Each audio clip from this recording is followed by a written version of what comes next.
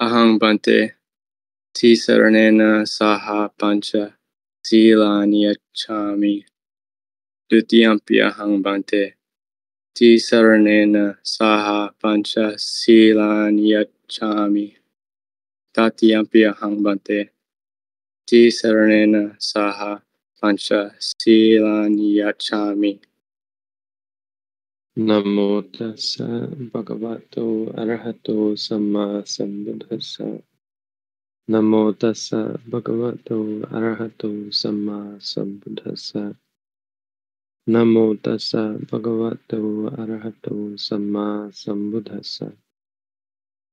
नमो तस् भगवत अर्हत सम्मा नमो तस् भगवत अर्हत Sama Sambuddhasa. Namo Tassa Bhagavato Arahato Sama Sambuddhasa. Buddhang Saranang Gacchami. Buddhang Saranang Gacchami. Dhammang Saranang Gacchami. Dhammang Saranang Gacchami. Sanghang Saranang Gacchami. Sanghang Saranang Gacchami. Dutiyampi Buddhang Saranang Gacchami. Dutiyampi Buddhang Saranang Gacchami. Dutiyampi Dhammang Saranang Gacchami. Dutiyampi Dhammang Saranang Gacchami. Dutiyampi Sanghang Saranang Gacchami. Dutiyampi Sanghang Saranang Gacchami. Tatiyampi Buddhang Saranang Gacchami. Tatiyampi Buddhang Saranang Gacchami. Tatiyampi Dhammang Saranang Gacchami.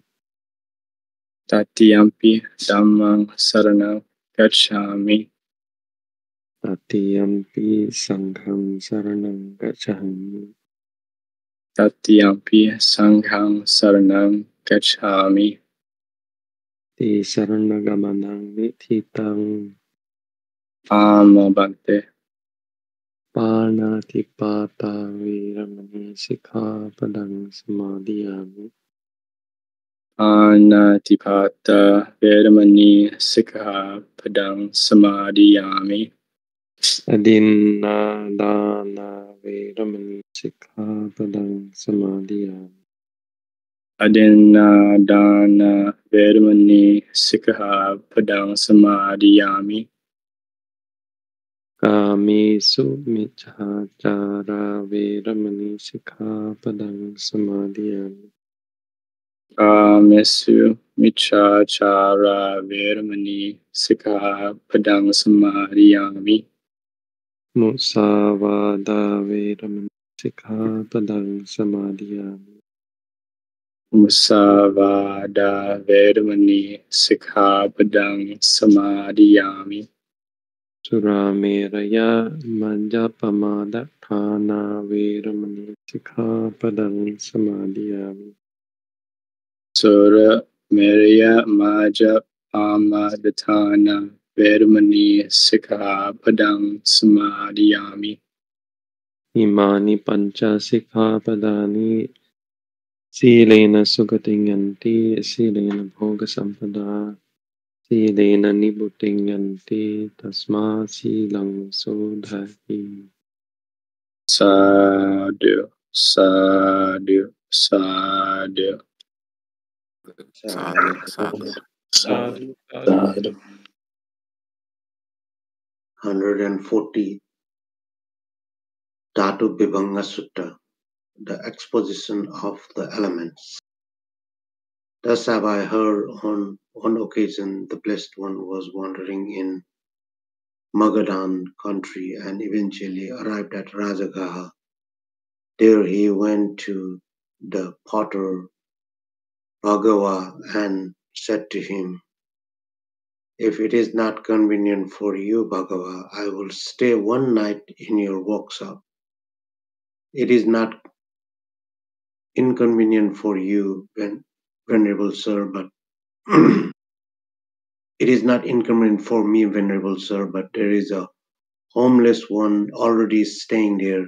If he agrees, then stay as long as you like, Venerable Sir. Now there was a clansman named Pukusati who had gone forth from home life into homelessness out of faith in the Blessed One.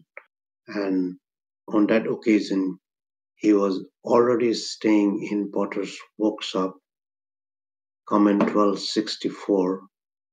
According to MA, Pukusati had been the king of Takshashila and had entered into friendship with King Bimbisara of Magadha through merchants who travel between two countries for purpose of trade. In an exchange of gifts, Bimbisara sent Pukusati a golden plate on which he had inscribed description of the three jewels and various aspects of the Dhamma. When Pukusati read the inscription, he was filled with joy and decided to renounce the world. Without taking formal ordination, he shaved his head, put on yellow robes, and left the palace. He went to Rajagaha intending to meet the Buddha, who was then in Savatthi, about 300 miles away. The Buddha saw Pukusati with his clear, clairvoyant knowledge and recognizing his capacity to attend the paths and fruits he journeyed along on foot to Rajagaha to meet him. To avoid being recognized by an act of will, the Buddha caused his special physical attributes, such as marks of great man, to be concealed, and he appeared just like an ordinary wandering monk. He arrived at Potter's Shed shortly after Pukusati had arrived there, intending to leave for Savatthi the next day in order to meet the Buddha. Then the Blessed One went to Venerable Pukusati and said to him, If it is not inconvenient for you, Bhikkhu, I will stay one night in the workshop. The potter's workshop is large enough, friend. Comment 1265. Pukusati, unaware that the new arrival is Buddha, addressed him by the familiar appreciations of Uso. Let the Venerable One stay as long as he likes. Or, and then the Blessed One entered the potter's workshop, prepared a spread of grass at one end, and sat down, folding his legs crosswise, setting his body erect, and establishing mindfulness in front of him. Then the Blessed One spent most of the night seated in meditation, and the Venerable Pukusati also spent most of the night seated in meditation. Then the Blessed One thought, This clansman conducts himself in a way that inspires confidence. Suppose I were to question him. So he asked the Venerable Pukusati, Under whom have you gone forth, Bhikkhu? Who is your teacher? Whose Dharma do you profess? Comment 1266. MA. The Buddha asked these questions merely as a way to start a conversation, as he already knew what Pukusati had gone forth on account of himself. Friend, there's the recluse Gotama, the son of the Sakyans, who went forth from the Sakyan clan. Now, a good report of that blessed Gotama has been spread to this effect that Blessed One is accomplished, fully enlightened, perfect in true knowledge and conduct, sublime, knower of worlds, incomparable leader of persons to be tamed, teacher of gods and humans, enlightened, blessed. I have gone forth under the Blessed One. That Blessed One is my teacher. I profess the Dhamma of that Blessed One. But, Bhikkhu, where is that Blessed One, accomplished and fully enlightened, now living? There is, friend, a city in the northern county, country named Savatthi. The Blessed One, accomplished and fully enlightened, is now living there. But Bhikkhu, have you ever seen the Blessed One before? Would you recognize him if you saw him? No, friend, I have never seen that Blessed One before, nor would I recognize him if I saw him. Just a question. Um, Bhante, how can he say that he went forth in Blessed One's dispensation if uh, both they never met? But uh, if they if they never met, then uh, did he hear the Dhamma somewhere, or like how can you say that? From the golden sheets, I guess, that was sent to him, according to the commentary. And there was Dhamma on them. Yes, the sheets contain uh, the nine virtues of the Buddha and uh, description of the triple gem and also how to do anapanasati meditation. According to the story, he, at that point he had already attained the fourth jhana after practicing, according to that. So okay, so this was this was uh, in the commentary that uh, Amar just read. Yes. 6. Then the Blessed One thought, This clansman has gone forth from the home life into homelessness under me. Suppose I were to teach him the Dhamma. So the Blessed One addressed the Venerable Pukusati thus Bhikkhu, I will teach you the Dhamma. Listen and attend closely to what I shall say. Yes, friend, the Venerable Pukusati replied. The Blessed One said this Bhikkhu, this person consists of six elements, six phases of contact, and 18 kinds of mental exploration. And he has four foundations. Note 1267 says MA since Pukusati had already purified the preliminary practice of the path and was able to attain the fourth jhana through mindfulness of breathing, the Buddha began directly with a talk on insight meditation, expounding the ultimate voidness that is the foundation for arahantship. End of note. The tides of conceiving do not sweep over one who stands upon these foundations. And when the tides of conceiving no longer sweep over him, he is called a sage at peace. One should not neglect wisdom, should perceive truth, should cultivate relinquishment, and should train for peace. This is the summary of the exposition of the six elements. Uh, I have a question. What is meant by the ulti- ultimate voidness as a foundation of uh, arahantship?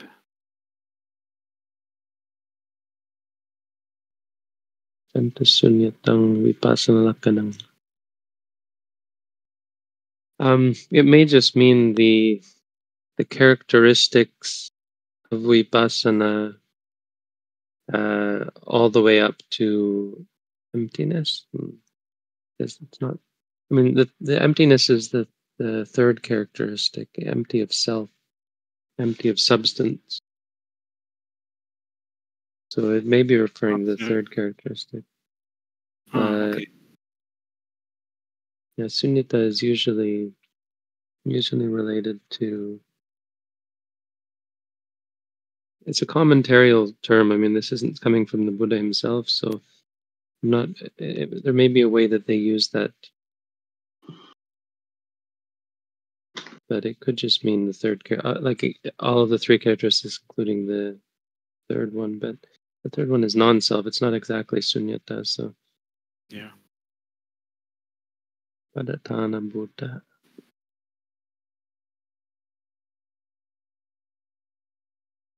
Ante, could it be related to a moment of cessation, the uh, expounding the ultimate voidness?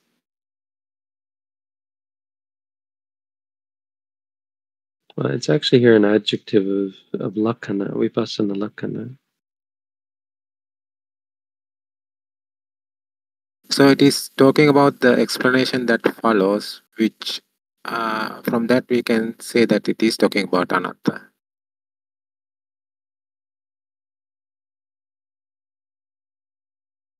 Eight. Bhikkhu, this person consists of six elements. Commentary 1268. MA. Here the Buddha expounds the non truly existent by way of the truly existent. For the elements are truly existent, but the person is not truly existent. This is meant. That which you perceive as a person consists of six elements. Ultimately, there is no person here. Person is a mere, uh, person is a mere concept. So it was said, and with reference to what was said, there are the earth element, the water element, the fire element, the air element, the space element, and the consciousness element. So it was with reference to this that it was said, Bhikkhu, this person consists of six elements. 9. Bhikkhu, this person consists of six bases of contact. So it was said. And with reference to what was this said, there are the base of eye contact, the base of ear contact, and the base of nose contact, the base of tongue contact, the base of body contact, and the base of mind contact. So it was with reference to this that it was said, Bhikkhu, this person consists of six bases of contact. 10. Bhikkhu, this person consists of 18 kinds of mental exploration commentary 1269 as at MN 137.8. So it was said, and with reference to what was it said, on seeing a form with the eye, one explores a form produ- productive of joy, one explores a form productive of grief, one explores a form productive of equanimity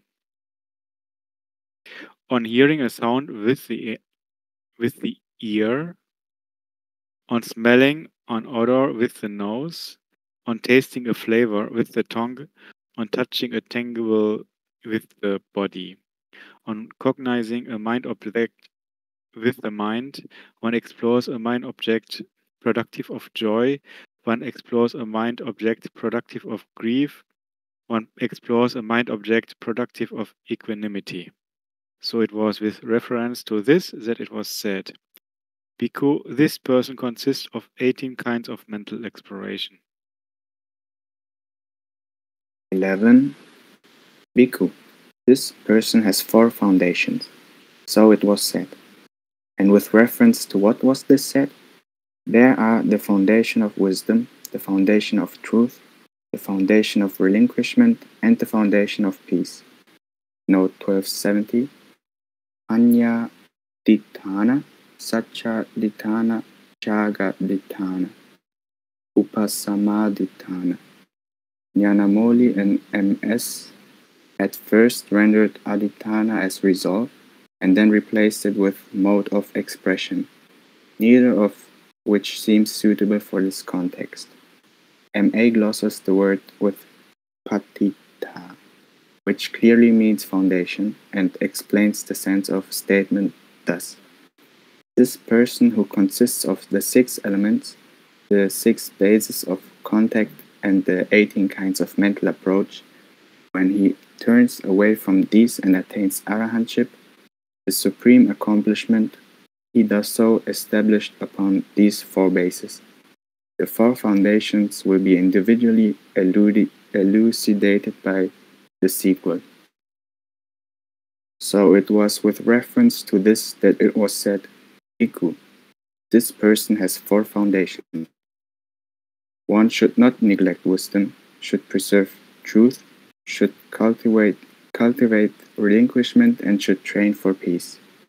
Note 1271.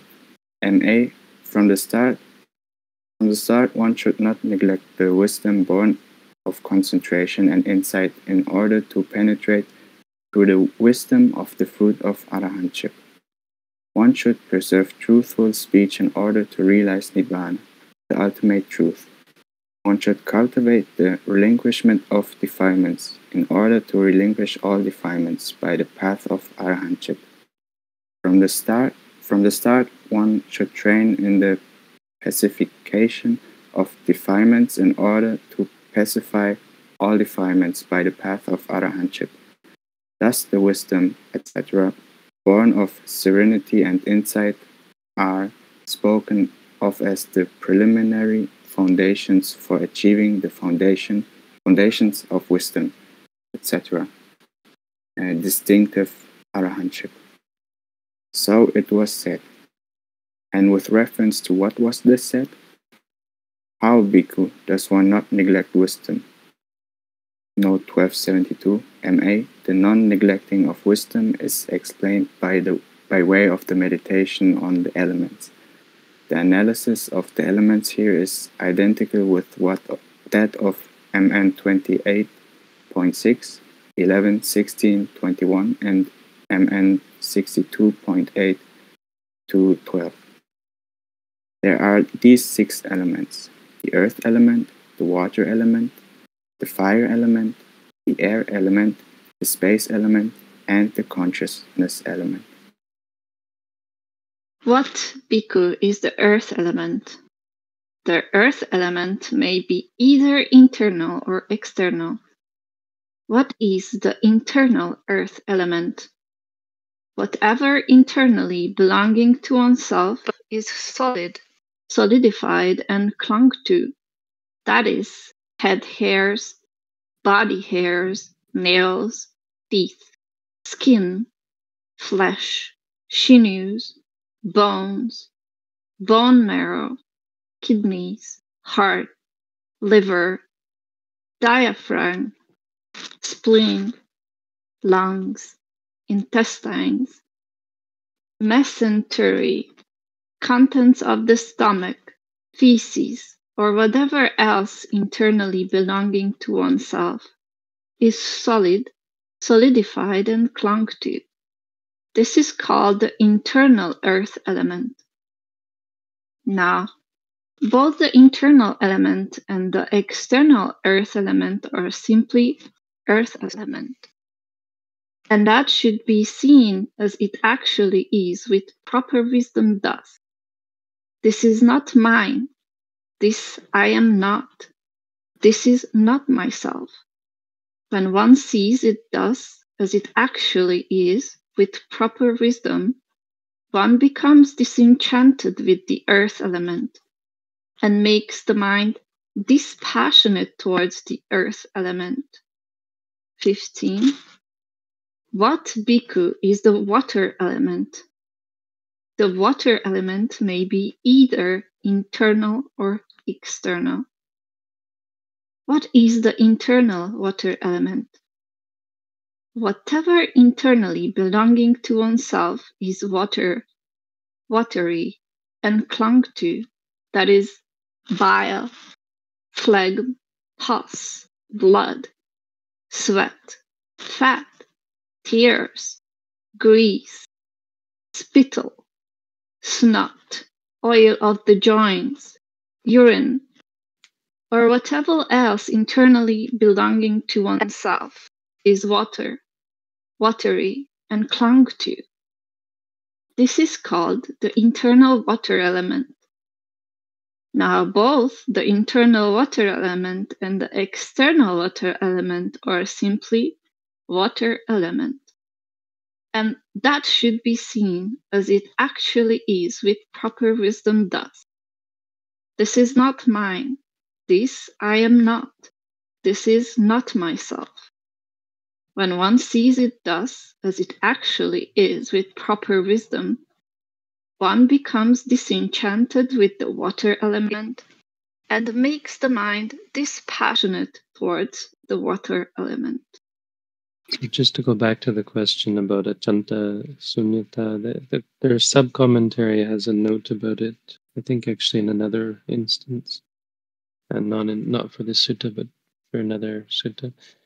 Um, and it, yeah, it, confirms, or it says what makes a lot of sense that it refers to basically all three characteristics. If you think of the character, three characteristics of vipassana, they are negatives, they are absences.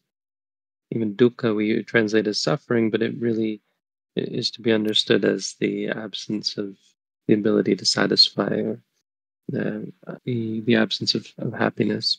I mean, meaning that it's uh, to dispel the the the, the mis uh, understanding that it can satisfy either by fixing bad things or by um, retaining good things.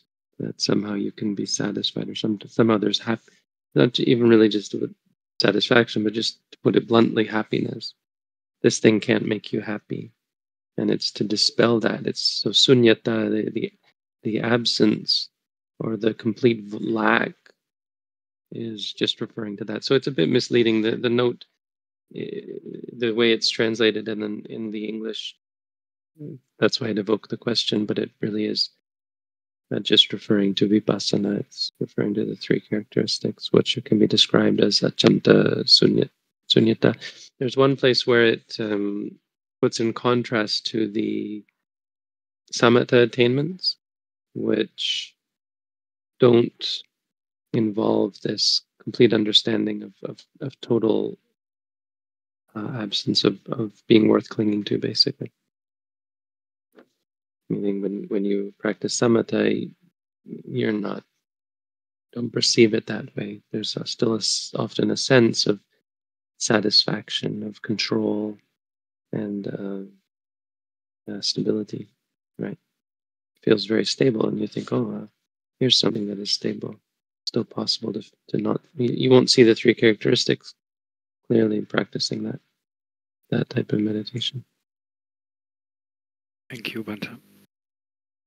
Um, just just before we go further, I I have a question about uh, from the paragraph twelve. I was just a little bit um, confused. Uh, it says uh, not neglect wisdom, preserve truth, should cultivate relinquishment, and should train for peace. So can you can you say something about this um, four things? Not really. I mean, he's explaining them here. Yeah, yes. So um, I th- I for some reason I thought that truth and maybe wisdom uh, is are the same, but it says in the commentary that it's it's about uh, uh, speaking truth, the truth. So basically, not lying, I guess. Hmm. It's quite a, a poetic uh, phrasing. I mean, it's very powerful. The the the sound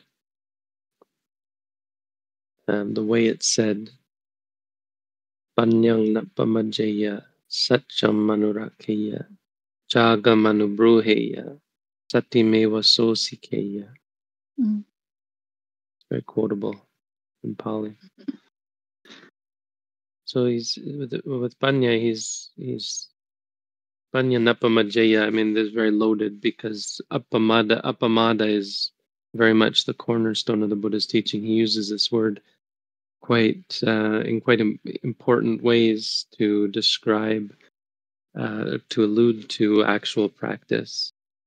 So it's it, it's a bit deceptive to just say it's not it's um, to not neglect it, but um, I mean that's literally how you could translate it. But it it is a word that it it means being actually um, directly perceiving it. I mean, it refers to sati. The Buddha would often say that uh, sati is what means appamada, panyang napamajaya. I'm not quite sure that it should be translated uh, literally as um, not neglecting wisdom, because that sounds kind of funny, doesn't it? Or I mean, it sounds quite specific, like don't forget about wisdom kind of thing. But it's more, I think that it's more about referring to the relationship between mindfulness and wisdom.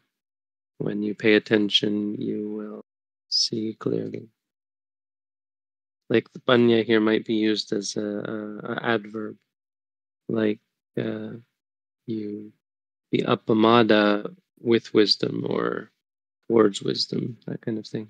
Yeah, towards actually, because it's the object of the verb. So you cultivate mindfulness towards wisdom. I may be reading a little too much into it, but it's not quite it's not quite the neglecting about wisdom, I don't think. It's more about not being not being generally heedless in a way that relates to wisdom, like in in a in a in a, in a meditative way, because you can be upamada in other ways, like you, you could be negligent and uh, in terms of, in relation to work or family or that kind of thing. So I think the word the use of the word panya here is actually meant to refer to in terms of ultimate in terms of, of what's really important to be not negligent about, which is reality experience. Okay, thank you, Bhante. 16. What bhikkhu is the fire element? The fire element may be either internal or external. What is the internal fire element? Whatever internally belonging to oneself is fire, fiery, and clung to, that is, that by which one is warmed, ages, and is consumed, and that by which what is eaten, drunk, consumed, and tasted gets completely digested, or whatever else internally belonging to oneself is fire, fiery, and clung to. That is called the internal fire element. Now, both the internal fire element and the external fire element are simply fire element, and that should be seen as it actually is with proper wisdom thus. This is not mine. This I am not. This is not myself. When one sees it thus, as it actually is, with proper wisdom, one becomes disenchanted with the fire element and makes the mind dispassionate towards the fire element. What, bhikkhu, is the air element? The air element may be either internal or external. What is the internal air element? Whatever internally belonging to oneself is air, airy, and clung to. That is, upgoing winds, downgoing winds, winds in the belly, winds in the bowels, winds in winds that course through the limbs, in breath and out breath, or whatever else internally belonging to oneself is air, airy, and clung to. This is called the internal air element. Now, both the internal air element and the external air element are simply air element, and that should be seen as it actually is with proper wisdom thus. This is not mine. This I am not. This is not myself. When one sees it thus, as it actually is with proper wisdom, one becomes disenchanted with the air element and makes the mind dispassionate towards the air element. one question. Uh, in all of these elements, there is, seems to be the condition of belonging to oneself and clung to and I was just wondering, uh, even if it's not belonging and not clung to, not clung to, it's still the elements. Uh, like it, this condition of being clung to is is it yeah. Clung to here gives the sense that it is internal, it's part of you, like it's my body. So it's what's inside the body is mine. You usually take it as yours. That's why it says clung to. As opposed to things outside your body, you don't cling to them as yours or yourself. Well, that's not true. You can cling to external things as well. Um, but but what you could say is that um, I mean you're right in another in another way because even if you cling to you, you you believe or you perceive yourself to be clinging to something external, it's still one of the the one of the uh. You're still actually only clinging. So saying that these are the things that are clung to means that this is actually what you're clinging to. Like when you cling to food, like I'm really addicted to food, you might say. You're not actually addicted to the food, you're addicted to experiences which are made up of the five aggregates. So you're actually addicted to the five aggregates. That's kind of, I think, the point of saying that these are the things that are clung to. That what you're clinging to is actually just the elements. And that's what's so powerful about these simple statements. Is that it's saying this thing that you are are perceiving as being so attractive is just fire element or air element or earth element. No, I meant to say, like, uh, even if it's not clung to, it, it, it, it's like a, th- there is not a condition for it to be called an element if it is clung to, is my point. If it's not clung to, it's still called the element, right? Like, let's say an arahant would not cling to, but uh, he would still have water element, etc. Right. Yes. Yeah, but uh, this uh, uh, sermon is given to somebody who is uh, still uh, puthujjana, so he can relate to it when say clung to, not uh, given to an arhat. Thank you. What bhikkhu is the space element? The space element may be either internal or external. What is the internal space element? Whatever internally belonging to oneself is space, spatial and clung to. That is the whole. That is the holes of the ears, the nostrils, the doors of the mouth, and the aperture whereby what is eaten, drunk, consumed, and tasted gets swallowed, and where it collects, and whereby it is excreted from below, or whatever else internally belonging to oneself is space, spatial, and clung to. This is called the internal space element. Now, both the internal space element and the external space element are simply space element, and that should be seen as it actually is with proper wisdom. Thus, this is not mine. This is this I am not. This is not myself. When one sees it thus as it actually is with proper wisdom, one becomes disenchanted with the space element and makes the mind dispassionate towards the space element. 19. Then there remains only consciousness, purified and bright. Note 1273 MA. This is the sixth element which remains in, in that it has yet to be expounded by the Buddha and penetrated by Pukusati. Here it is explained as the consciousness that accomplishes the work of insight, con- insight contemplation on the elements under the heading of consciousness.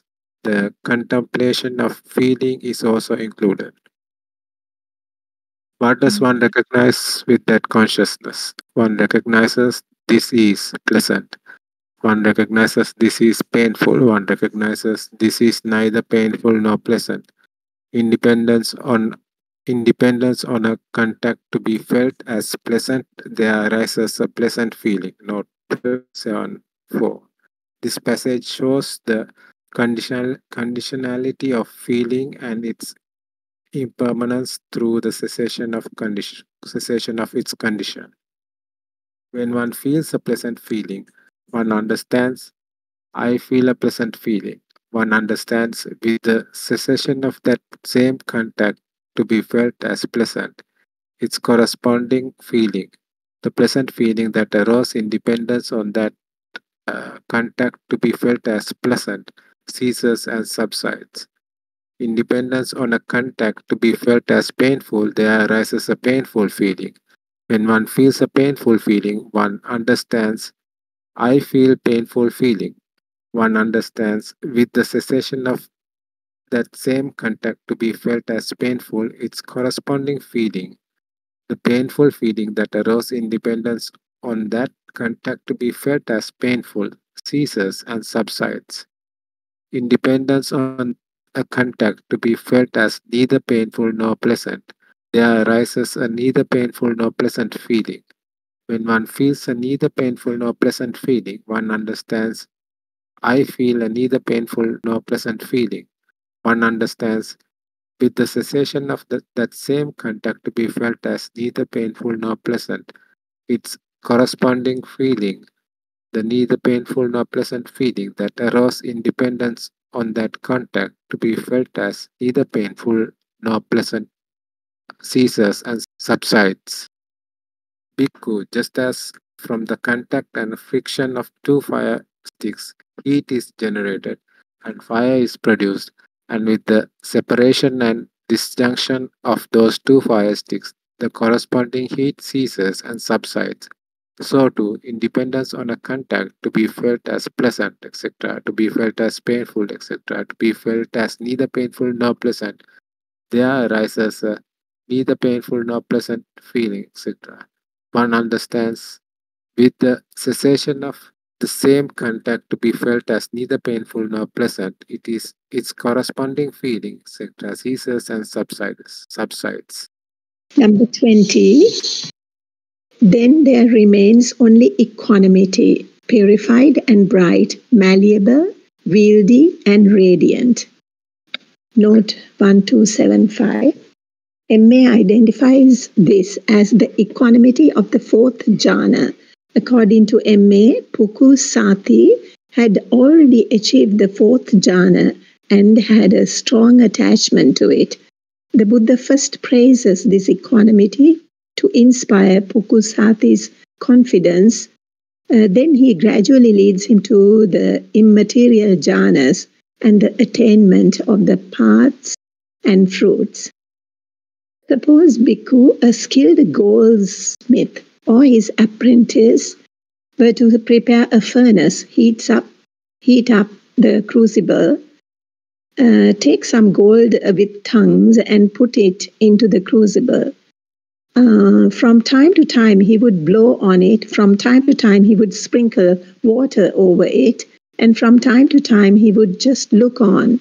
The gold would become refined, well refined, completely refined, faultless, rid of dross, malleable, wieldy, and radiant.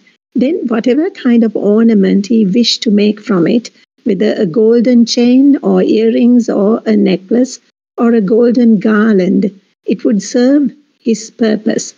So too, Bhikkhu, then there remains only equanimity, purified and bright, malleable, wieldy and radiant. Number 21. He understands thus if I were to direct, direct this equanimity so purified and bright to the base of infinite space and to develop my mind accordingly, then this equanimity of mind supported by that base, clinging to it, would remain for a very long time. Note 1276. The sense is if he attains the base of infinite space and should pass away while still attached to it, he would be reborn in a plane, in the plane of infinite space, and would live there for the full lifespan of 20,000 eons specified for that plane. In the higher three immaterial planes, the lifespan is respectively 40,000 eons, 60,000 eons, and 84,000 eons. End of note. If I were to direct this equanimity, it is so purified and bright to the base of infinite consciousness, to the base of nothingness, to the base of neither perception or non perception, and to develop my mind accordingly, then this equanimity of mind, supported by that base, clinging to it, would remain for a very long time. 22.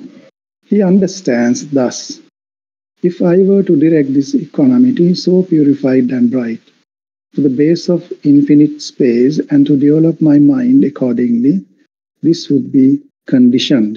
Note 1277 MA. This is said in order to show the danger in the immaterial jhanas. By the one phrase, this would be con conditioned. He shows even though the lifespan there is 20,000 eons, that is conditioned, fashioned, built up. It is thus impermanent, unstable, not lasting, transient. It is subject to perishing, breaking up, and dissolution. It is involved with birth, aging, and death, grounded upon suffering. It is not a shelter, a place of safety, a refuge, Having passed away, there is worldling. One can still be reborn in the four states of deprivation. If I were to direct this equanimity, so purified and bright, to the base of infinite cons consciousness, to the base of nothingness, to the base of neither perception nor non perception, and to develop my mind accordingly. This would be conditioned. He does not form any condition or generate any volition tending towards either being or non being. Note 1278. So neva abhisankaroti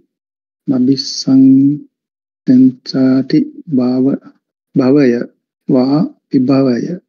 The two words suggest the notion of volition as a constructive power that builds up the continuation of conditioned existence. Ceasing to will for either being or non being shows the extinction of craving for external existence and annihilation, culminating in the attainment of arahantship. Since he does not form any condition or generate any volition tending towards either being or non being, he does not cling to anything in this world. When he does not cling, he is not agitated. When he is not agitated, he personally attains Nibbana. He understands thus birth is destroyed, the holy life has been lived. What had to be done has been done. There is no more coming to any state of being. Note 1279. MA says that at this point, Pukkusati penetrated three paths and fruits, becoming a non returner. He realized that his teacher was the Buddha himself, but he could not express his realization since the Buddha still continued with his discourse. If he feels a pleasant feeling, Uh, note 1280, this passage shows the arahants abiding in the in the nibbana element with a residue remaining of the factors of conditioned existence. Sa upadisesa nibbana dhatu. Though he continues to experience feelings, he is free from lust towards pleasant feeling, from aversion towards painful feeling, and from ignorance about neutral feeling. And note, he understands it is impermanent. There is no holding to it. There is no delight in it. If he feels a painful feeling, he understands it is impermanent. There is no holding to it. There is no delight in it. If he feels a neither painful nor pleasant feeling, he understands it is impermanent. There is no holding to it. There is no delight in it. If he feels a pleasant feeling, he feels it detached. If he feels a painful feeling, he feels it detached. If he feels a neither painful nor pleasant feeling, he feels it detached. When he feels a feeling terminating with the body, he understands. I feel a feeling terminating with the body. When he feels a feeling terminating with life, he understands. I feel a feeling terminating with life. Note 1281. That is, he continues to experience feeling only as long as the body with its life faculty continues, but not beyond that. End note. He understands on the dissolution of the body with the ending of life, all that is felt not being delighted in will become cool right here. Note 1282. This refers to his attainment of the nibbana element with no re- residue remaining. Anupadisesa nibbana dhatu, the cessation of all conditioned existence with his final passing away. End note. Bhikkhu, just as an oil lamp burns in dependence on oil and a wick, and when the oil and wick are used up, if it does not get any more fuel, it is extinguished from lack of fuel. So too, when he feels a feeling terminating with the body, a feeling terminating with life, he understands. I feel a feeling terminating with life. He understands. On the dissolution of the body, with the ending of life, all that is felt, not being delighted in, will become cool right here. Therefore, a bhikkhu possessing this wisdom possesses the supreme foundation of wisdom. For this bhikkhu is the, is the supreme noble wisdom, namely the knowledge of the destruction of all suffering. Note 1283. This completes the exposition of the first foundation, which began at paragraph 13. M.A. says that the knowledge of the destruction of all suffering is the wisdom pertaining to the fruit of arahantship. End note. His deliverance, being founded upon truth, is unshakable, for that is false bhikkhu, what has a deceptive nature, and what is true, which has an undeceptive nature, nibbana. Therefore, a bhikkhu possessing this truth possesses the supreme foundation of truth. For this bhikkhu is the supreme noble truth, namely nibbana, which has an undeceptive nature. Formerly, when he was ignorant, he undertook and accepted acquisitions. Note 1284. MA mentions four kinds of acquisitions, upadhi. Here, see number 674.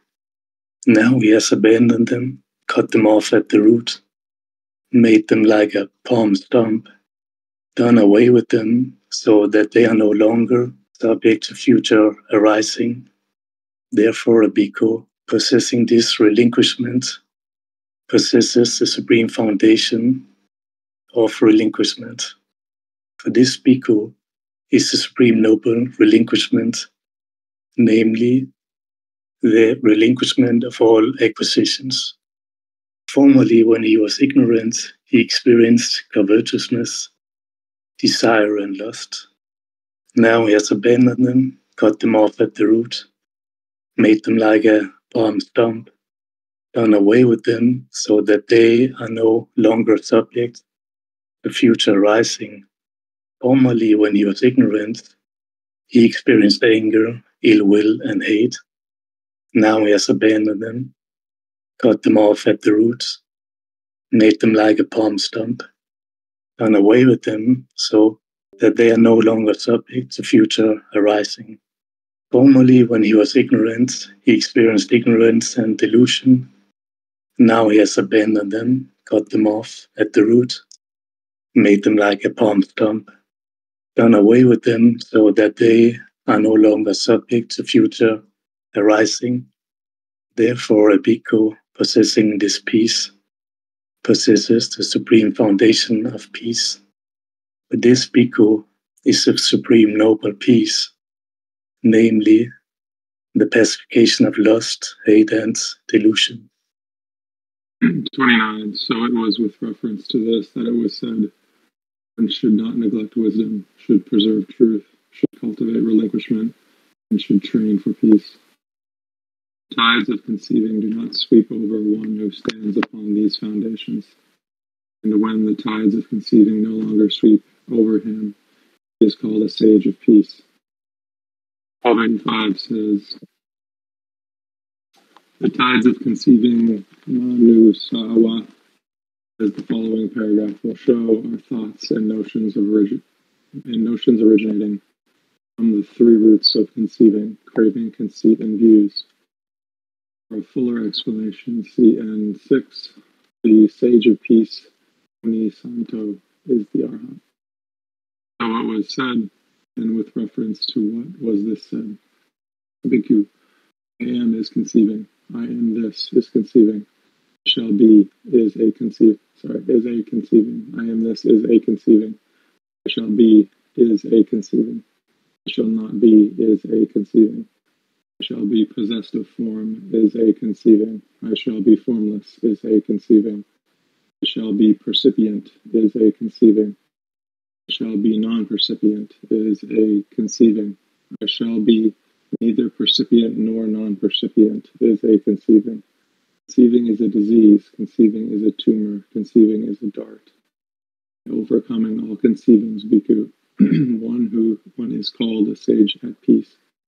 The sage at peace is not born, does not age, does not die, is not shaken, and does not yearn. There is nothing present in him by which he might be born. 1286 says, That which is not present in him is craving for being, which leads those who have not eradicated it back to a new birth following death.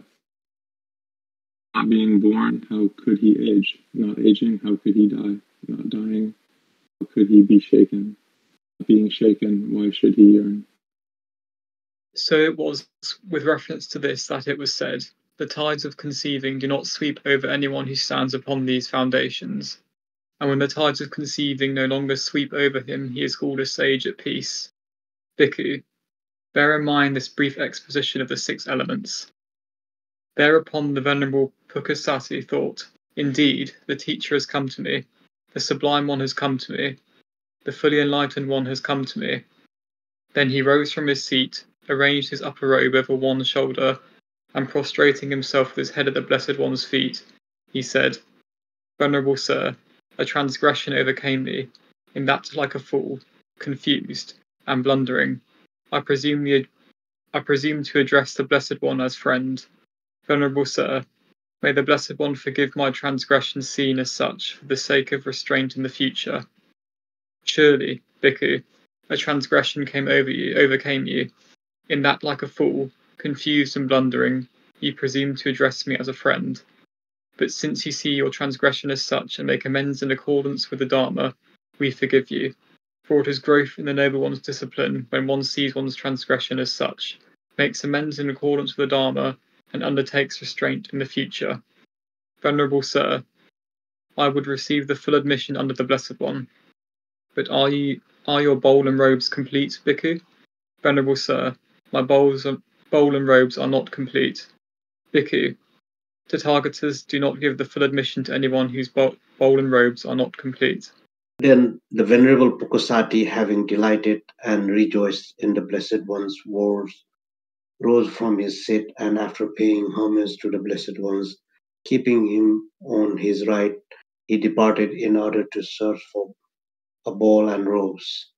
Then while the Venerable Pukusati was searching for a ball and robes, a stray cow killed him.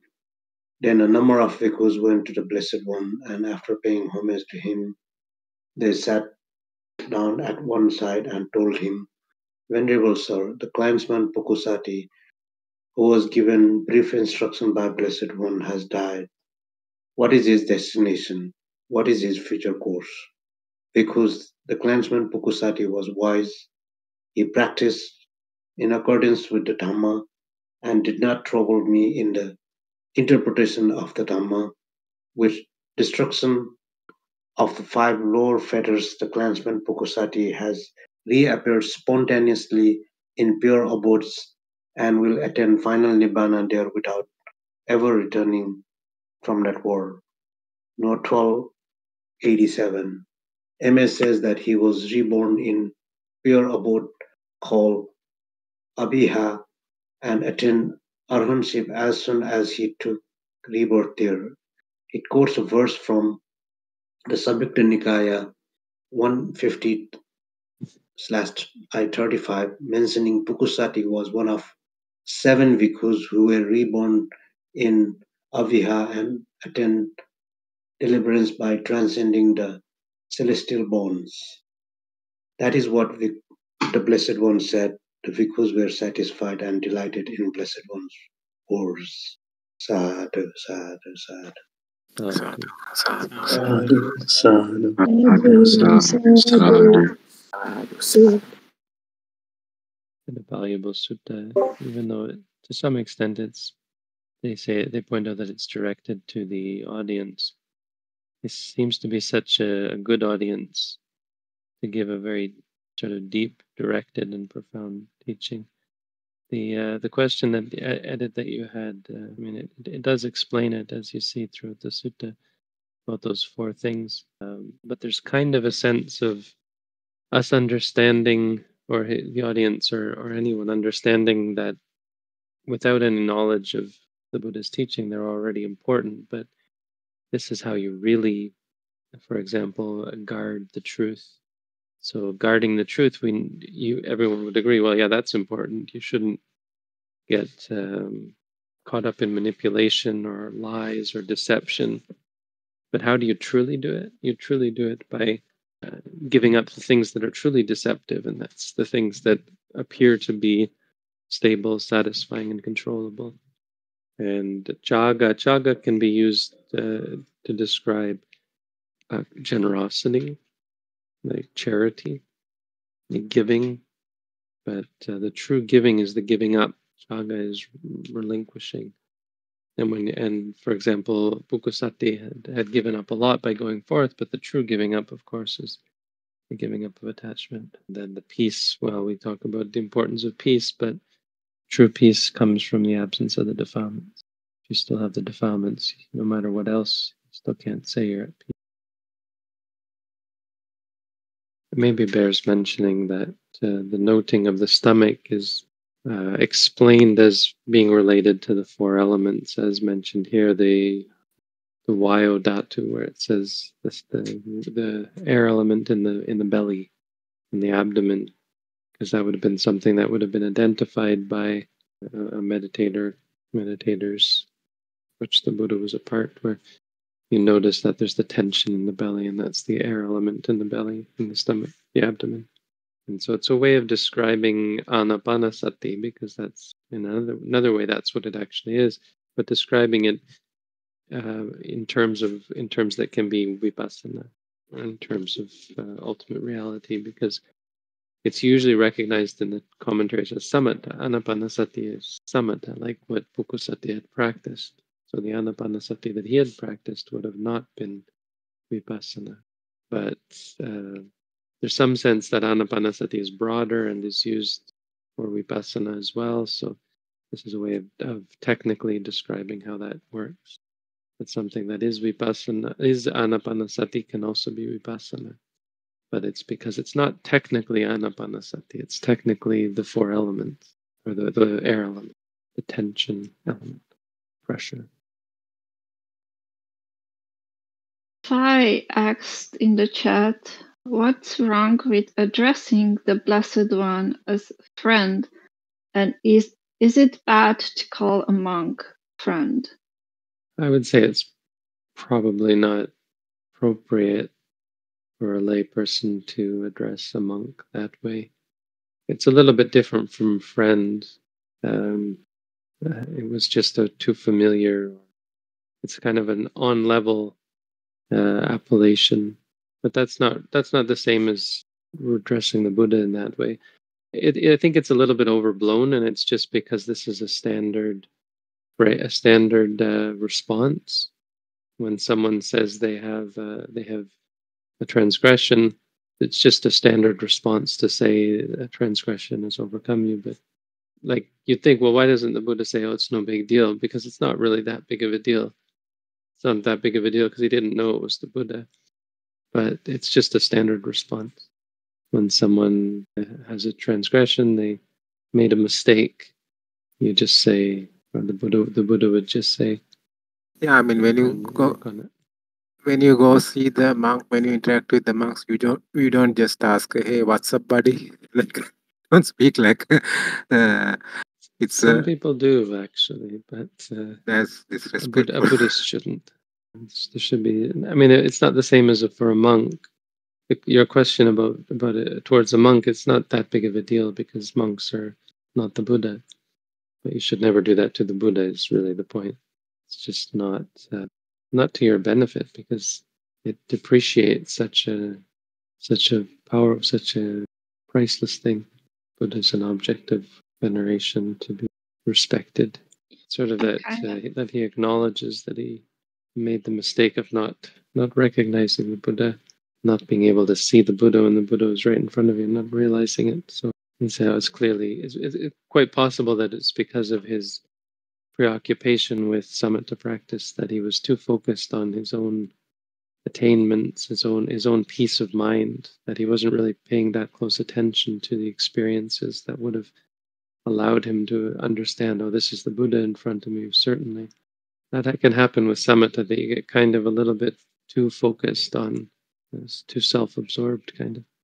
It's also similar to when we address our parents, we don't address by name or we just call by father, we just call father or mother, or we just say sir when addressing the father.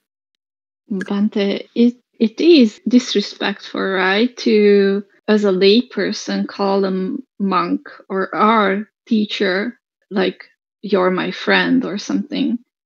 That's very disrespectful, right? Well, again, though, it's not avuso doesn't quite mean friend. It doesn't actually mean friend at all. It's it's not literally, as I understand what the word means whatsoever. I'm just asking if us, we, just you know, take you as a our te- as like our teacher is like, oh, Ante is my friend or something.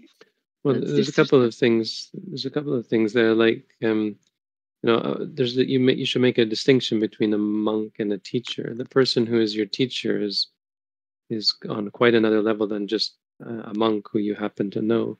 So there's a couple of things that, funny enough, uh, the teacher is more of the friend than the monk. So a monk that you know as a layperson, by virtue of them being a monk, they should not be your friend. There should be a distance. That's something that is that makes things awkward when lay people seem to think that they can be buddy buddy with monks, and we have to be very careful not to uh, to be in put in that position because we're never going to be able to keep our training if we get um, pulled into the, the lay life. People who who have you know who are living the lay life and have uh, much more contact with society. It's so easy to get pulled in and distracted and caught up in chatting and enjoyment.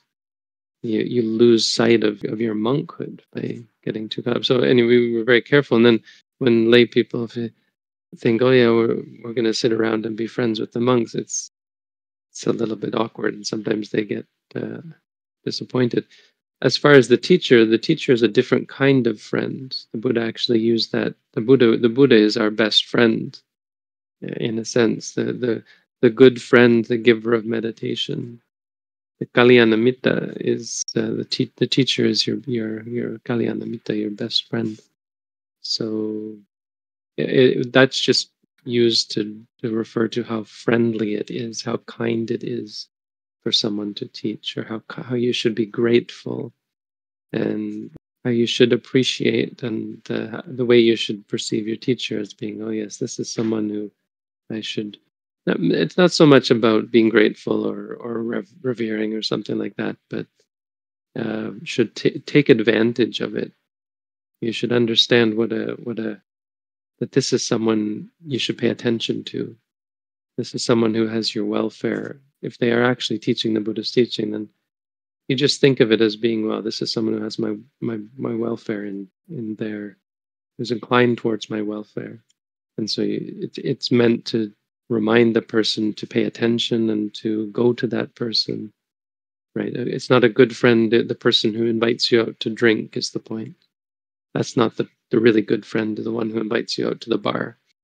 The good friend, the one you should cultivate, the one you should hang out with, is the one that teaches you meditation. So it's just saying it's the best of friends or it's the friend that you should pay attention to. That's really what it's referring to. So that's how friend works. But the friendship that you're talking about is about more about the equality, honestly.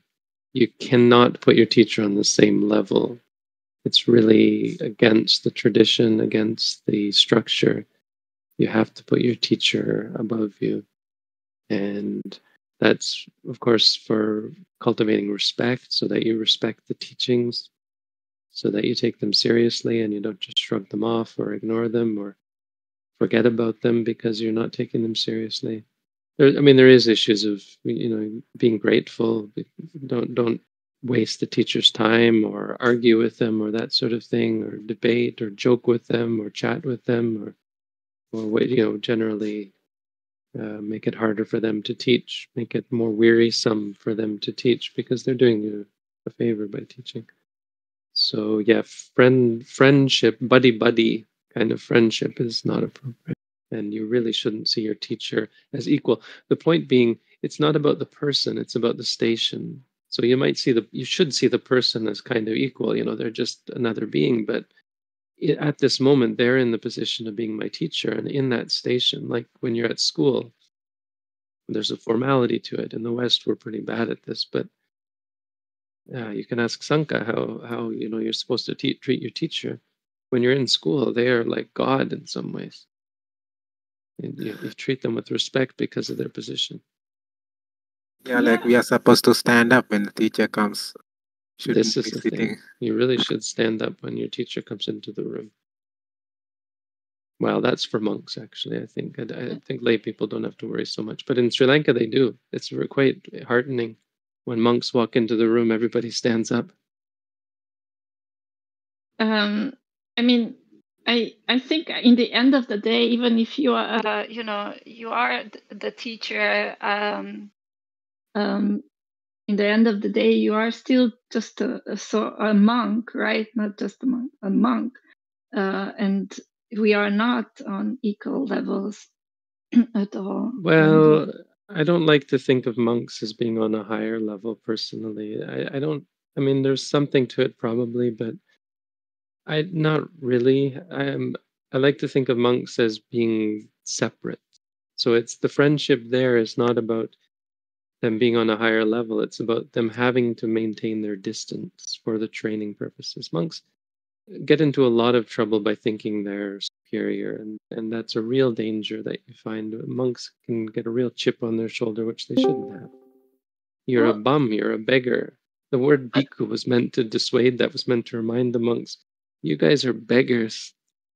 You're mendicants. You're wearing rags. You're actually lower than all of these people. You're you're, you're debasing yourself. You're humiliating yourself by wearing cast off rags and calling yourself a bhikkhu. So it's much more about we're to remind ourselves that we're worthless, but uh, but um, we're to we're we're cast we're cast off. We have been we're like garbage that has been refused by society, or no, that we have we have thrown ourselves away, and so we have to stay separate. We for for the training purposes, we have to keep ourselves separate. And that's the reason for not being friends. Not i'm above you and you can never be my friend because you're below me. I mean i strongly disagree from what what, what you were just saying. I, I feel like uh, a monk uh, decides uh, that i'm going to walk the holy life like that's a huge yeah but the holy life is about realizing that you're worthless realizing that there is no worth in being yeah reborn or but in, in this body or in this mind they are not things to be clung to. So the training is very much about not holding yourself above anyone. It's very very dangerous of course that's on the monk right? That that's that's the monk's problem. He has to check himself on on yeah. this but uh, uh, so yeah so what you're the good of what you're saying is yeah people are, appreciate or respect but the way they should respect it in my mind is still as uh, giving them the separation not well, putting them up on a pedestal. It's ridiculous because monks can be so awful as well. Monks can be full of corruptions you shouldn't just put them above you just because they're a monk but you should give them the distance. You shouldn't get involved and even if a monk is terrible you shouldn't get too caught up with that unless they're being terrible to lay people. Don't go and criticize hey this monk is not practicing. Hey this monk is not that's none of your business. They're they're not part of your society. Just leave them alone. I mean there is some connection. You leave them alone mostly but there are connections that lay people have you you either offer food or don't offer food and if you don't offer food because they're bad monks well that's good because it it uh, makes them wise up and realize that they're just going to starve if they don't. There are ways that of course lay people interact with monks and there's going to be some pretty regular interactions. It's just about regulating those. You shouldn't sit around and chat with the monks. You shouldn't you can ask how they are and that sort of thing but it's more about this separation. You shouldn't uh, tell them stories about your grandkids or that sort of thing. I mean you it, it's really uh, better to leave the monks alone is the point. So I have heard that when it comes to uh, interacting with lay people, uh, monks are advised to do it like uh, when you're looking into a deep well in the ground, a well without fences that you can fall into. You are looking into it to see whether it has water. You look yeah into it carefully without letting yourself slip into it. well if it has the connotations that they're beneath us and we're we're up above that's still problematic in my mind i don't i don't buy into the monks are are above lay people. The monastic life is superior, and there's a superiority there. So there's a there's something to it, but it really isn't how we should look at it. Much better in my mind is just giving monks their space and appreciating what they're doing, like revering them from afar, kind of thing. In that in that analogy, I think it is stressing on being careful, like not to slip into slip into lay peop- ways Yeah, of the lay yeah. people. Yeah, it's a good analogy. I agree. Yeah, I just remembered that maybe a lay practitioner could be much more advanced in their spiritual path or even enlightened, uh, and not all monks uh, were like you were saying. I keep forgetting for some reason that uh, there are crappy monks as well. Sorry. But you can you can bow down to a monk because of your reverence for the monkhood, for the the monastic. Training that the Buddha laid down. I mean, it's just you see a monk and you're seeing something the Buddha created. So it's like you're bowing down to the Buddha, the kind of the idea. So in form, there is a lot of very strong respect shown to the monastic tradition. In practice, it, really doesn't hold up because lay people will yell at monks or criticize monks. Or the the the point to be stressed, I think, is they shouldn't get too caught up and involved with the monks. At the end of the sasana, monks will become like lay people who are just wearing yellow Mhm. threads around their wrist. But even if you give Yeah. a dana to such a monk or whatever form they are, yeah, and uh, you dedicate it to the sangha, you still get high merits from that. Yeah, um, I just I just wanted to, to mention one day I uh, I heard a Dharma talk and it just really hit me uh, the whole thing how the sangha, the bhikkhus uh, and the bhikkhunis uh, just kept all the teachings alive and uh, how it all like everyone had their teacher and their teacher and their teacher and their teacher and their teacher and it goes back to the arahants and it goes back right to the buddha. So this is whatever we are hearing or i am hearing and uh, i'm practicing it, it comes from almost directly from the buddha. It's a, there is no there is always a chain uh, teacher student chain between. Yeah, the monks in the present are a representation of the great monks, the pa- the Buddha and the great monks in the past. Yeah, yeah, it's just incredible how we are still in kind of a t- in touch with with the whole original sangha.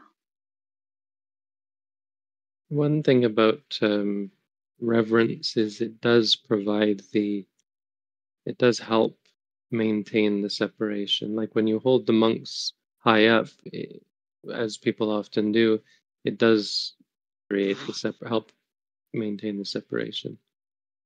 When people are bowing to you and holding holding their hands up and praise, you know, like revering you, it holds you up to a higher higher level of behavior as well, and makes it hard to create these uh, inappropriate bonds of familiarity.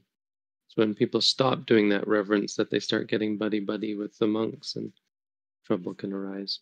Especially if it's between male monks and uh, male monks and female lay people, Yeah, bhikkhunis and yeah, heterosexual problems. yeah. I was just thinking that, like, if if you don't have that in your mind, that that barrier, like really strong barrier, like, Mhm. no, he's higher, and he's, then you're in trouble for sure.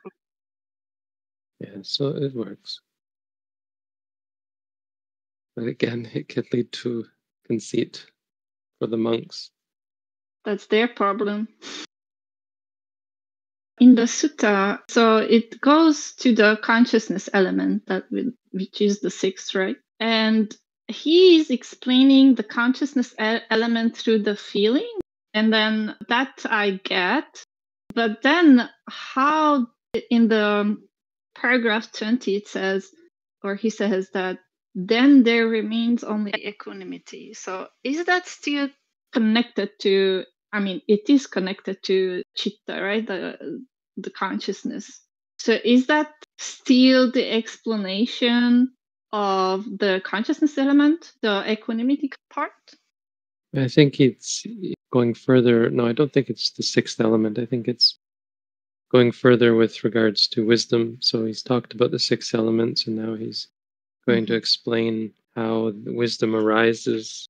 Uh, it's it's kind of um, I mean the commentary implies that there's sort of this guiding and manipulating the mind of the audience that this is what specifically Pukusati needs to hear because of his attachment to equanimity. So he he uses this mention of equanimity to pique his interest and to make it relatable so that he's able to guide him from the equanimity that he's probably feeling by having practiced the jhana, the samatha jhanas, to bring him to vipassana understanding. Yeah, because once you are in the jhanas, the, the, the experiences talked about in uh, paragraph 19, they don't arise. I mean, there's no feeling on the body, there's no hearing, especially in the fourth jhana. So those are subsided and according to the analogy, the purified gold is uh, the equanimity of, of, the fourth jhana here. And based on uh, using that gold, you can make different objects. So, like using the fourth jhana, based on the fourth jhana, you attain the arupa jhanas. Sure. So, why was it important to also direct his mind towards the arupa jhanas? The natural progression from there. You, I mean, it's a higher version of the fourth jhana. Like you keep uh, strengthening the fourth jhana, going up one level, and at the end. Yeah. Uh, I, I just I just don't see how was that important for the um, it's eradication like, of defilement. Uh, because so if you are attached to the fourth jhana, uh, if you show if you show the person something higher than that, which is the first arupa jhana, you can trans uh, transition him from the fourth jhana to that level, and then the next level. You can go like that, and then after the neva sanya, nasanya, then you uh, direct him to nibbana. It's like step by step uh, process instead of mm-hmm. directly saying, okay, you abandon this and then you practice vipassana. So I guess if someone clings to meditation and jhana itself, then uh, you have to take them through these uh, because they already kind of found something that's um, happiness, right? And they can perceive it as um, satisfactory. Depends on the person, I guess. If a person is more into the jhanas, samatha jhanas, then probably that's the way. But it's not necessary. Like if the person is is able to convert that to vipassana, you don't have to go that way. It's probably it probably depends on the person. Basically, these higher jhanas could be a trap, right? Attaining them first. That's I don't think they'd be a trap. I mean, even arhants after becoming arhants, uh, they do practice jhana to be able to attain, attain the nirodha samapatti. But that's different. It's easier for them. The trap is wrong view and clinging. If you don't focus on them or deal with them, then they will trap you in things like jhanas for sure. Yeah, jhana is more like a platform or a tool that you can use for your spiritual development. Because there's so much concentration, it can become hard to face, confront the the problems, like wrong view and so on. So it can be hard to convince people who are keenly practicing samatha practice to practice vipassana. It can be. It's not because of the samatha, because, well, it, it, the, it can be a challenge because the samatha sort of protects them from the uh, tendencies or the, the, the latent defilements. Anusaya. Anusaya. But on the other hand, their hindrances are subdued, so it is also beneficial for the progress. So that's true yeah, if they use it, if they point in the right direction. But without wisdom, without someone to direct you, like uh, left to your own devices, you're never going to find it. You never think of the things that the, the Buddha explained. Samatha doesn't hint at impermanence. Uh, what, what often happens for people who practice samatha is they come to the question of not being able to maintain the tranquility. And so either they try harder and harder, or they eventually do realize the futility of it and they start to ask, could there be something better? Usually they don't ask, could it be something better? They say they usually ask, how can they prevent this from this from happening, this loss of of tranquility that perpetually occurs every time you get distracted suddenly you lose your tranquility and you have to start all over and it's just hard work to upkeep so how do i make it effortless and up and able to be kept and that's where vipassana comes in to tell you you can't that's just not how it works and the seeing that is ultimately valuable more valuable than falling into the trap of thinking that it's permanent lasting safe isn't that also a problem that people uh, compare the experience of samatha with insight meditation? So because samatha is more pleasant, they reject mm. the unpleasantness when they confront get confronted with insight meditation. Yeah, it makes it far more appealing and uh, makes people question whether there's something wrong with the, this practice because it's not very pleasant. It's not that it's not very pleasant. In fact, it's just their defilements make ordinary experience unpleasant because vipassana deals with experiences as being ordinary. It uh, leads to reaction, which makes it unpleasant. But the real problem is, yeah, thinking that there's something wrong with it as a result. It's okay for it to be unpleasant. It doesn't mean that anything's wrong with the experience. It just means that there's reactions, which are, it's useful to see, useful to appreciate and appreciate the suffering that comes not from the experience but from the reactions. It's interesting that uh, uh, in the sutta, at the end of the sutta, the Buddha didn't give Venerable Pukkasati the Ehibhikkhu ordination, even though he didn't have both and robe probably because uh, the Buddha saw that he's going to die anyways. Because you can't give ehibhikkhu unless they have their bowl and robes. No, um, I think I, uh, the way I heard Bhante is like if you have given uh, Attapirikara, the eight requisites in the past yes. in Sansara. They, they, magically float down from the sky. They, they appear, yeah. but that's that's means that they have the bowl and robes, or, or you could say at least they have the prerequisite for them to appear. But uh, obviously, Pukkasati didn't have that. It's not the magic of Ehi. It's not just by saying Ehibhikkhu suddenly makes the bowl and robes appear. Bhikkhu said he didn't have the, the requisite to become a a monk at all. He had the bad karma of having partaken. I'm, i understand he would have been one of the people who killed this yakkhini that was born. Ah, yes. This, yes. Yes. It wasn't actually a stray cow. It was actually this yakkhini, this female ogre. And uh, Pukkasati wasn't the only one, but she was out to get revenge on these people who had who had uh, I think sexually assaulted her actually, but anyway, brutally murdered. I can't remember the story. Far past life Bahiya was another. I was actually wondering why the Buddha he knew that this person has the ability to get enlightened, and then he just get up and uh, went to meet him. Like he he didn't wait for him. Like I guess he knew that the lifespan will end soon or something. Like there had to be some reason. Yeah, the Buddha every morning would look out into the universe and see who would be receptive to the teachings. Because again, he had been invited by Brahma to teach, so he's, he looked out for the people who were right to teach that day. He saw, oh, Pukkasati's coming, but he won't make it, so I have to go to him. Mm-hmm.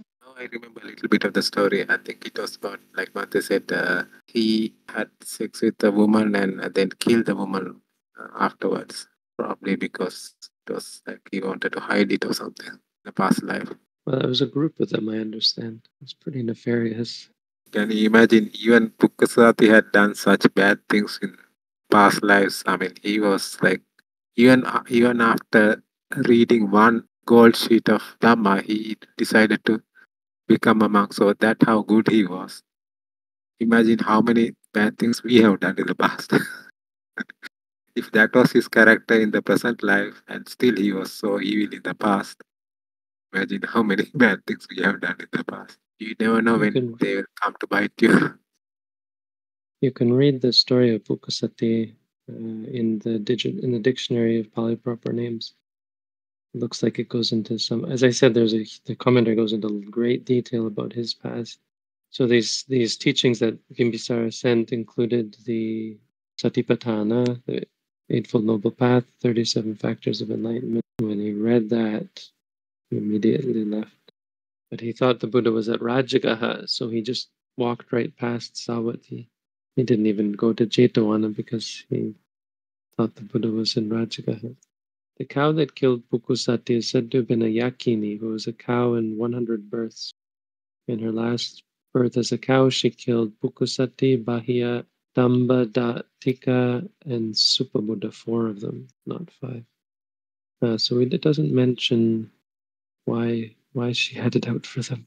Yeah, that cow must be in Avici now because it killed like the it killed one of the eighty great disciples. Like Bahiya, Venerable Bahiya was an arahant and he was the fastest to attain enlightenment. Yeah, that so, killed an arahant. Okay, it's hard to get much worse than that. Yeah, I, I'm I'm so surprised that Sanka can laugh when he mentions that. Imagine how many bad things we did and I'm like just terrified. And he laughs. I mean, it's the irony. Even the Buddha, one time, he, when he was going with Venerable Ananda, he saw like a ants uh, marching on the ground. And then he told that, I think he smiled, the Buddha smiled. And then Venerable Ananda noticed that the Buddha smiled because uh, whenever the Buddha smiles, he, I think there's uh, white light emanating from his teeth. So Venerable Ananda noticed that and then and knew that the Buddha uh, had smiled and asked about the reason. Then he then the Buddha told about the ants on the road. They had been uh, the universal monarchs. Each ant marching in that uh, line had been universal monarchs in the past, in past lives. Terrifying, Sanka. That's terrifying. That's terrifying. it's the irony. I'm telling you, you don't laugh. Yeah, laughter belongs to they call puthujjanas, but uh, the Arahants can smile, hmm. especially about something ironic called the Hasituppada Chitta.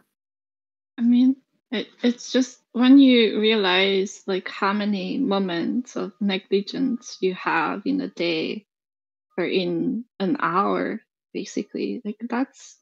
I'm not saying that you should feel regretful or anything, but that's honesty, I think. Yep, understanding the uh, danger in samsara is actually considered uh, wisdom.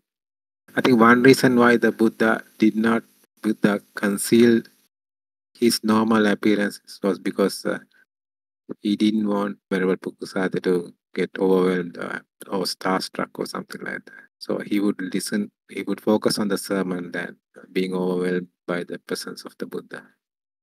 Well, as I understood it, it the reason was that he wanted to get there fast and not being stopped by others, recognized and stopped by others. Yeah, that could be a reason too. All right, that's all for me this week. Thank you all for coming. Have a good week. Thank you. Uh, Thank you. Thank you. Sadhu. Sadhu. Sadhu.